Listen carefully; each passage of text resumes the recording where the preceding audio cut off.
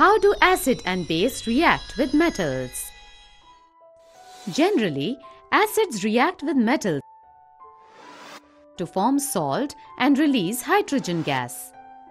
For example, when dilute sulfuric acid reacts with zinc granules, zinc sulfate is formed and hydrogen gas is released. Pass the gas through soap solution. Hydrogen escapes into the air in the form of bubbles. Bring a burning matchstick near a hydrogen-filled bubble. Hydrogen burns with a pop sound and matchstick is extinguished.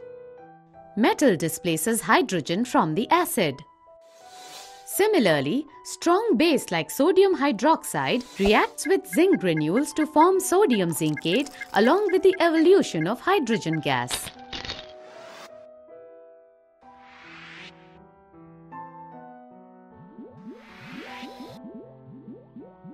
This reaction is not possible with all the metals.